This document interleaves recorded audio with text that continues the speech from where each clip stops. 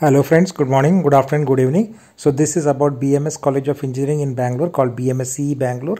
And I'm going to talk about the details on management quota seat right? Through PGCET program. And there are three programs MBA, MCA and MTech.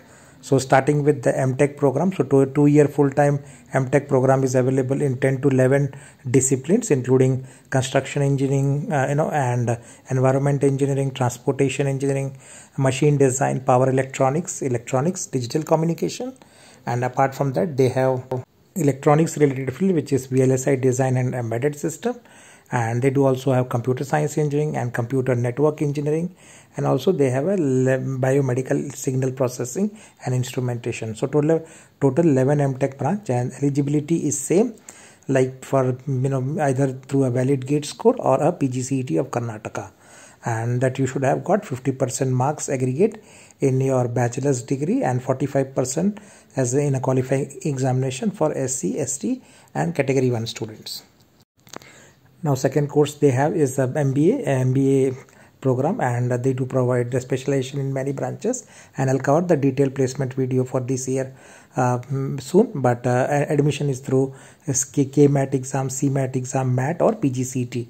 Anyone is compulsory to get the seat in BMS College of Engineering and the criteria is same 50% aggregate for general merit in your graduation degree and 45% for students who are from SC, ST and category 1 students. The next course offered is also called MCA, Masters in Computer Application and similar qualification criteria which is there for MBA. But here two exam scores are accepted. One is KMAT and the second is PGCET. So one of this exam you should have given uh, for applying for even management quota seats. And criteria is same 50% for general merit student and, in, and should have done mathematics as one of the compulsory subject right or secondly is that 45% for SC, ST and category 1 student. Now coming to the fee structure part of it which is for the management quota. So for MBA per year fees is 3.5 lakh rupees. So if you can afford around 7 lakhs, 2 years MBA will be for 7 lakh rupees. MCA is also the same fees per year fees is 3.5 lakh rupees and for 2 years MCA 7 lakhs will be total fees for MTech program in computer networking, it will be 1.5 lakhs. For uh, compute for MTech in transportation, it will be like 1.5 lakh rupees per year. MTech in VLSI and an embedded system will be around 2.5 lakhs. And MTech in biomedical signal processing instrumentation, or other branches will be 1 lakh.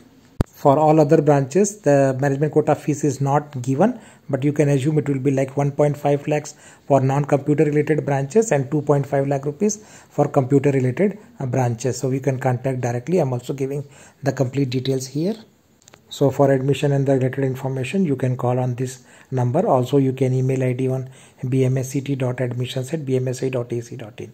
And this is the college complete address. So that's all I have to cover, which is the detailed information provided on their website. Thanks for watching and please do subscribe channel to get uh, similar updates on all the colleges in Karnataka. Take care and bye.